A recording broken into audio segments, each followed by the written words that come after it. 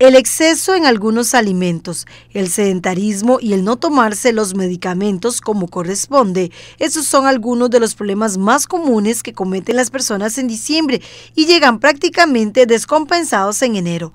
Por eso, la nutricionista del Hospital Escalante Pradilla, Gretel Calderón, dijo que el comer con moderación es el secreto. Bueno, en realidad recordar que la Navidad y el fin de año es una época en la que debemos de encontrar el verdadero sentido a la época, ¿verdad? Y no dejemos que fechas tan importantes como estas nos afecten la salud.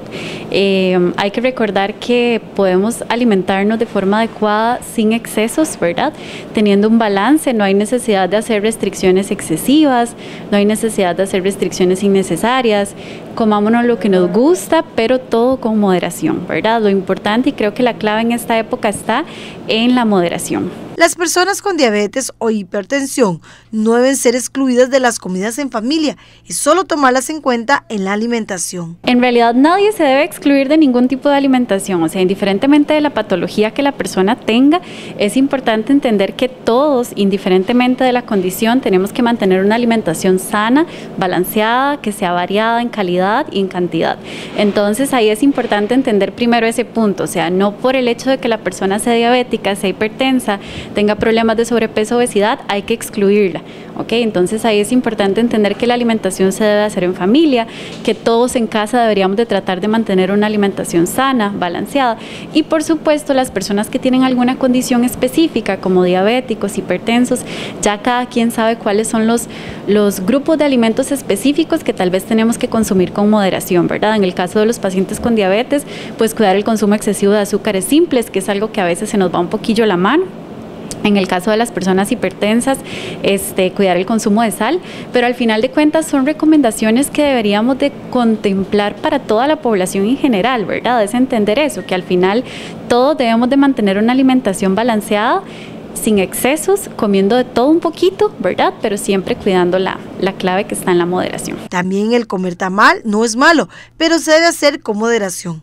Otro punto importante es hacer actividad física, caminar, correr u otra para evitar el sedentarismo. No es tanto la alimentación como tal, porque al final de cuentas si lo vemos, pues en la cena de Navidad podemos mantener una alimentación balanceada, puede haber de todo un poquito.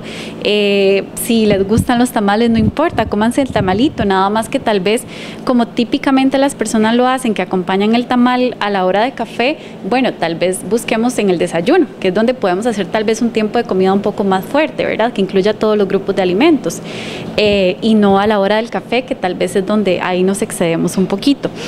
Eh, y en el caso de la actividad física, vieras que eso es lo que creo que más afecta en esta época, ¿verdad?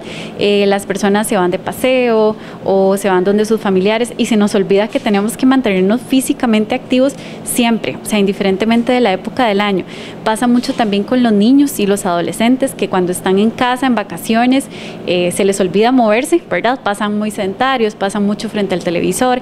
Entonces es importante recordar que el movimiento y la actividad física debe ser algo de siempre. O sea, no podemos dejar de movernos porque estamos en vacaciones o porque nos fuimos de paseo. Ahí siempre es tratar de mantenernos físicamente activos haciendo lo que nos guste. Asimismo, no se pueden dejar de lado los medicamentos, sobre todo si se tiene un tratamiento. También eso es sumamente importante. O sea, el tratamiento, si el médico se lo prescribe, es algo de por vida, es un tratamiento crónico, no podemos dejar que también en estas fechas nos afecte. Y lo otro que también a veces pasa mucho es que mezclamos mucho el tratamiento con bebidas alcohólicas, ¿verdad? Entonces ahí es importante recordar que su esquema de tratamiento tiene que seguir siendo el mismo también en toda época del año. Si ustedes van a salir de casa y son diabéticos y se inyectan insulina, bueno, recuerden siempre de trasladarse con su insulina al lugar al que van, con sus pastillas al lugar al que van, tengan un pastillero, bueno, ya eso le corresponde al personal de farmacia, pero sí Recuerden que las pastillas se deben de almacenar de forma adecuada, sin exponerlas tanto al calor, tanto a la luz, ¿verdad?